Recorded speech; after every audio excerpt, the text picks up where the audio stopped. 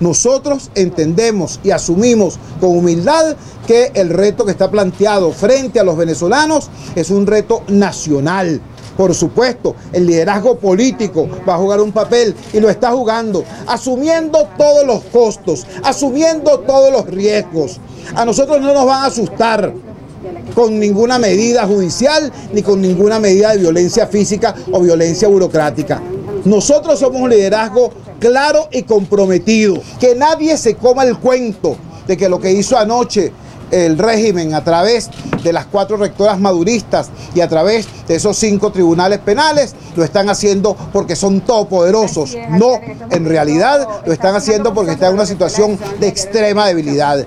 El gobierno está fuera de la ley y fuera de la constitución. El gobierno no tiene herramientas ni económicas, ni políticas, ni de imaginación para enfrentar la crisis que ellos mismos construyeron. Esa es la verdad.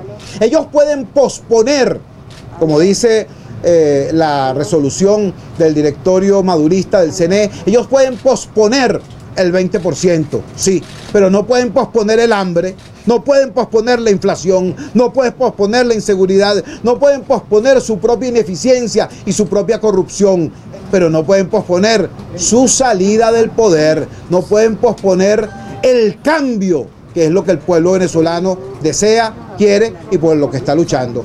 Nos solidarizamos ampliamente con todas las demostraciones de eh, malestar del pueblo venezolano frente a lo ocurrido ayer. Nos solidarizamos con la protesta ayer de los habitantes de los barrios humildes, la Cota 905, por comida, por alimentos. Nos solidarizamos con las protestas que hoy están protagonizando la juventud y los estudiantes venezolanos. Nos solidarizamos con la protesta convocada para el día de mañana por las mujeres.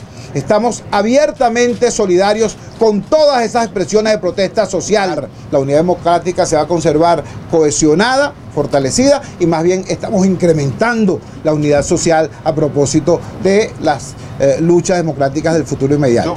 Pueblo Maduro, pueblo es el que hoy en proporción de 8 a 2 pide tu salida. Ese pueblo es el que tú no te atreves a ver ni siquiera colocando su huella en una máquina.